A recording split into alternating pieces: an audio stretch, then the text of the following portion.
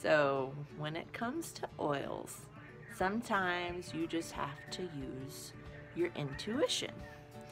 And in our case, it was Aspen's intuition that she wanted to pick an oil.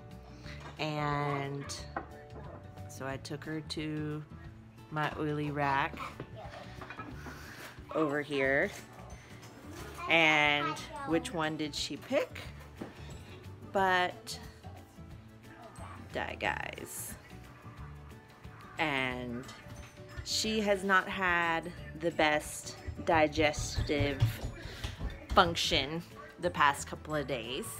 And TJ woke up this morning and had a very angry belly. So he used DiGize this morning, but it's just funny to me that when you let the baby pick out which oil she wanted to use today, she chose DiGize.